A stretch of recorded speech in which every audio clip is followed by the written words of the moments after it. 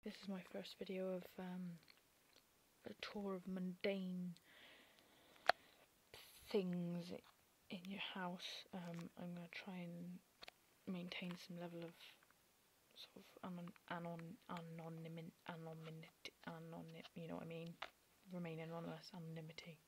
Um, which is why I keep on putting that down because it reflects some, some some some stuff reflects you.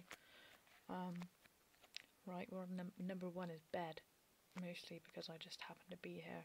Um, probably where most decent people spend most of their time. Um, hopefully, not actually like sleeping or doing anything dirty or anything, or by which I mean sex, not like shitting themselves.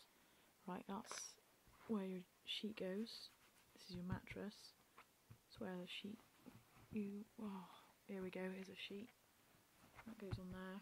That's well done. I'm halfway there. Uh, you you can use your bed in the conventional sort of way, or you can um, sort of live in it. And instead of using, that's a, we won't go into what that is because it's too complicated. Instead of sort of using other device, but mundane things to put stuff in, you can just use your bed.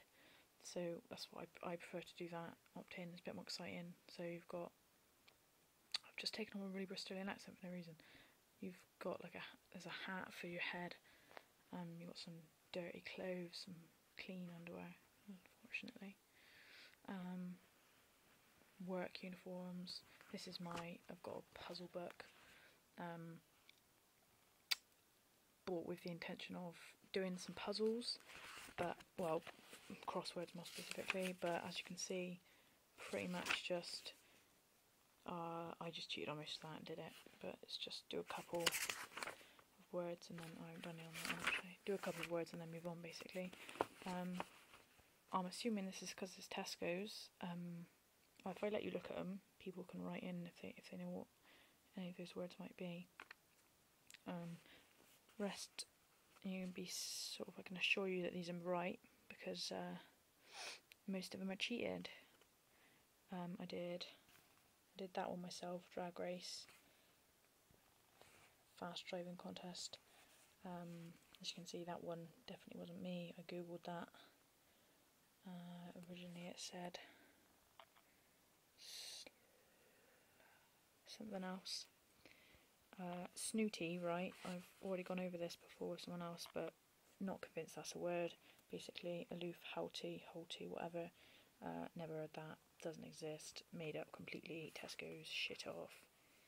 Um, I mean, don't say, oh yes, it is a word, because obviously it is a word, otherwise Tesco's wouldn't have got it, but I'm not really convinced that they got someone in who, to research these sort of, what, you know, they didn't get an encyclopedia or anything, I think they just got someone in just said, uh, came out of these words and just said, how would you describe it? So someone said, word drag race, and they said, "How should what, should, what clue should I give?"